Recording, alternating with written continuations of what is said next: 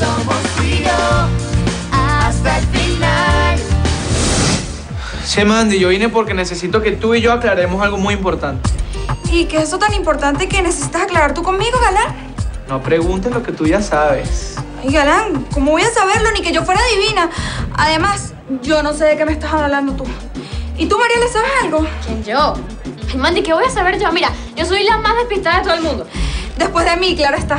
Tranquilas, muchachas. Yo no entiendo por qué ustedes se ponen tan nerviosas, sobre todo tú, Mandy. Ay, Galán, ¿cómo no voy a estar nerviosa si estás enfrente de mí? Sí, me imagino.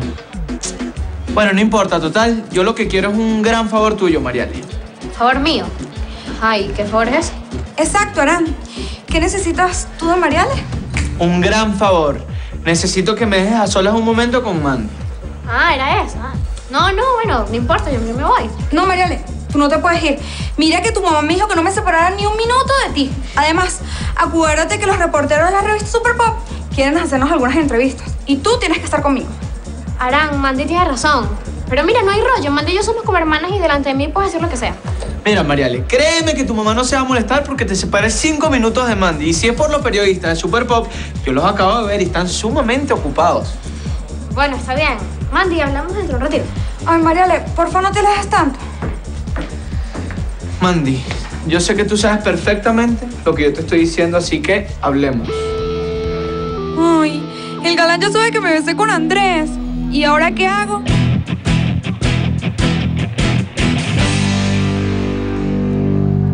Ya va, ya va, Jessy. ¿Tú me estás queriendo decir de que la señora Magali, es decir, la mamá de Jorge, la tía de Víctor, es la que quiere perjudicar a Giovanna? Henry, yo sé que lo que te estoy diciendo suena un poquito complicado, pero es verdad. No sé, chamita, mira, a mí eso no me cuadra. Yo quisiera saber algo. ¿Puedo confiar plenamente en ti? Es que yo sé que lo que te voy a decir es muy delicado. Jessy, tú puedes confiar en mí con los ojos cerrados. Y lo que tú me vayas a decir no va a salir de aquí. Gracias, Henry. Yo siempre supe que eres un chamo sincero y súper especial. Y, y bueno, lo acabo de comprobar. Gracias por la confianza. Pero por favor explícame cómo es eso que tú piensas que la señora Magali es la que quiere perjudicar a Giovanna. No lo pienso, lo sé. Mira, yo estoy investigando todo muy bien.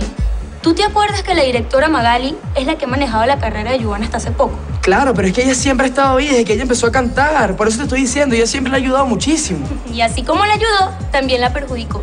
¿O acaso no te acuerdas que ella fue la que la botó de la oficina y le cerró todas las puertas para siempre? Bueno, no sé, está bien, pero ¿por qué me estás diciendo eso a mí no de una vez a Giovanna? Ay, es que aunque yo he trabajado con ella, Giovanna no me ha tenido suficiente confianza, por eso es que recurro a ti. Ella se nota que te quiere mucho. Bueno, sí, está bien. Ella y yo hemos tenido nuestros rollos y todo eso, pero igualito nos tenemos mucho cariño. ¿Ves? Y créeme, yo también le he agarrado muchísimo cariño en el poco tiempo que tengo trabajando para ella. Y por eso es que no me gusta lo que le están haciendo y quiero protegerla. No, no, no, bueno, y eso me parece muy bien. Al final tú eres prácticamente su asistente y siempre estás ahí con ella y se... Sí, pero hay un problema. Yo no puedo hacer todo sola, Hendrik. Por eso es que te estoy pidiendo que me ayudes. Anda, ¿sí? ¿Qué me dices?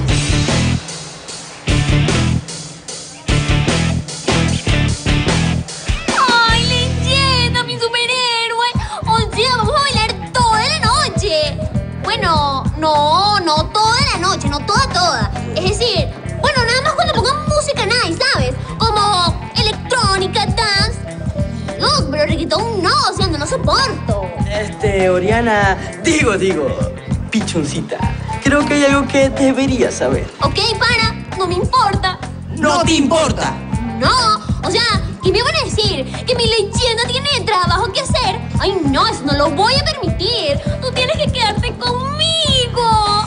Eh, luchadora, mi labor como paladín de los enamorados me obliga a interrumpir en este asunto. Y hasta donde yo tenía entendido, tu corazón estaba con Hendrik, ¿no? Mm, Bueno, sí, enmascarado, pero eso es más largo que una telenovela, ¿sabes? Este, y bueno, además no tengo ni público ni tiempo para contarlo bien. Así que mejor vamos a dejarlo como que soy la fan número uno de la leyenda. Ah, esta es otra prueba de que las pimpollitas prefieren al encanto latino. Es más, esto es tan importante que hay que transmitirlo por Zumba TV ahora mismo. Vayan, vayan. Pues no se diga más. Vamos a buscarlo equipo. Estamos listos. Ok, pero qué rápido. Transmitiendo. Vida, estamos en vivo desde la fiesta Rosemary para documentar la euforia que causa la leyenda entre sus fans. El enmascarado del amor no se puede quedar atrás. tengo que salir al aire por la radio, pero ya. Oriana, ¿estás lista para gritar al mundo tu amor por la leyenda? Júrame que esto sale por televisión. En vivo por todo el mundo a través de Internet. Bueno, pero entonces prepárense. Porque yo adoro la leyenda latina. Me parece súper cute. Y bueno, yo sé que, que él también me quiere porque somos tal para cual. O sea, Henry, ¿y esa que está ahí llamando la atención no es tu noviecita?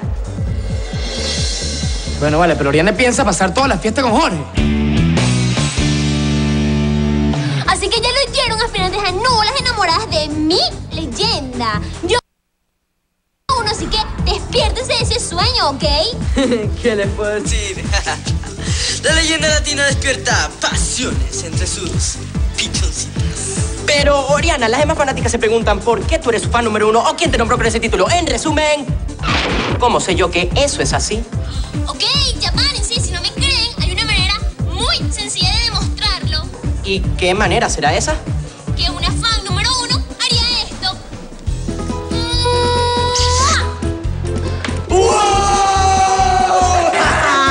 Oriana, Mira, payaso, esta vez sí te pasaste. Te voy a enseñar cómo se termina una leyenda, chamo.